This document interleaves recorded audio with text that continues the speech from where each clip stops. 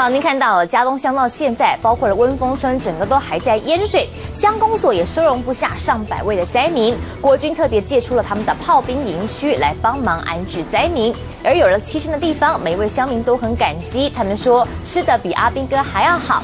不过小朋友一想到淹水的画面呢，用画笔画了一个泪人儿，说现在无家可住，哭惨了。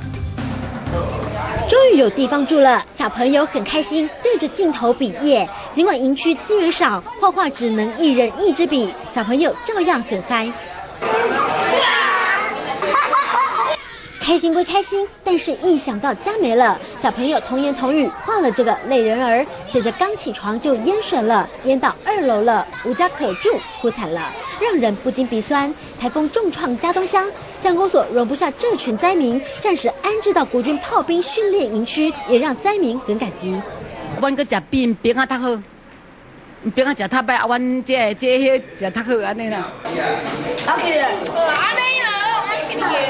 义诊的护士帮忙灾民包伤口，灾民理头发，还有营区里的理发妈妈免费剪头。只是家毁了，什么时候才能再回去？灾民无奈，只能走一步算一步。